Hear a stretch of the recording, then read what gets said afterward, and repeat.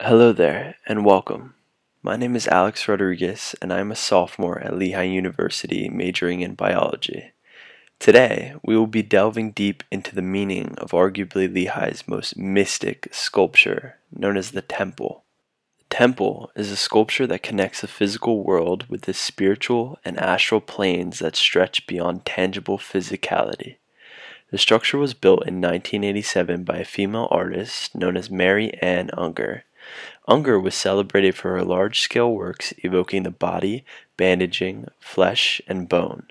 Despite the temple's seemingly lack of each of these characteristics, the sculpture is more of a vessel which can be synonymous with that of a body. Many times, the human body is referred to as a vessel for the human soul.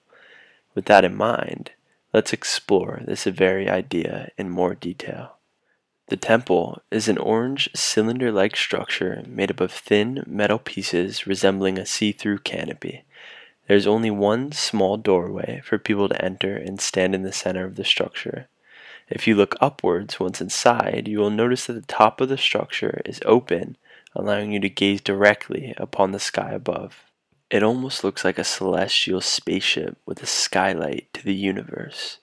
The structure seems unworldly, emitting a cosmic aura. Just based off the description and appearance of the structure, could you see the sculpture as Unger's interpretation of a vessel that can transport the soul to the spiritual world solely by journeying inside? To me, the sculpture is just that it's ethereal. It embodies the physical and spiritual aspects of life, the most obvious being the physical aspect of the sculpture. To a superficial observer, the sculpture is just a canopy, nothing more, nothing less. But what you don't see are the things you have to look deeper within the structure to find. This is the spirituality behind the temple. Think of the word temple. What does it mean to you? Well, to me, temple is sanctuary, safety, serenity, and bliss. It's a place that will protect me from the struggles and turmoil of the outside world. It's a place so safe that I may be able to calmly meditate or pray to God without worry of interruption. Well, that is exactly how I interpret the sculpture. It is a place of safety and meditation that is interconnected and woven to the spiritual world.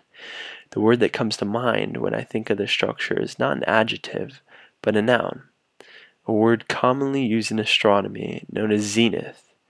Zenith is defined as the specific point in the sky directly above an observer. So if you were to go outside and look directly upwards, the point in the sky at which you are standing is your zenith. If I was to stand inside of the temple and look upwards, I would be viewing the sky from a narrow opening in the top of the sculpture. It makes it seem like my zenith at that center spot is more specific or purposeful since the narrow opening is almost as if it is inviting me to look up and gaze upon the universe at that exact position in the sky. And because of that exact reason, the temple is a vessel that intertwines the physical body with the spiritual soul of anyone who gazes upon its opening towards the outer universe. The sculpture acts as a portal to the spiritual world for those willing to enter its temple.